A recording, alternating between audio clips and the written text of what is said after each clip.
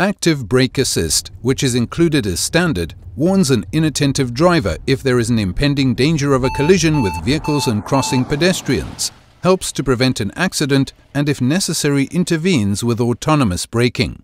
When the system's radar detects the danger of a collision with a vehicle ahead, it first reacts with a visual and acoustic warning.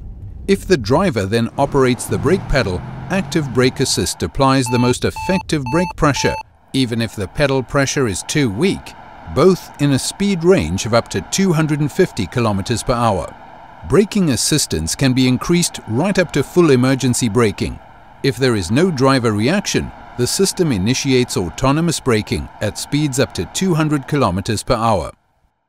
Up to 60 km per hour, Active Brake Assist as standard also reacts to stationary vehicles and crossing pedestrians in the danger area in front of the vehicle and is therefore able to avoid accidents at typical urban speeds by autonomous braking or mitigate their severity.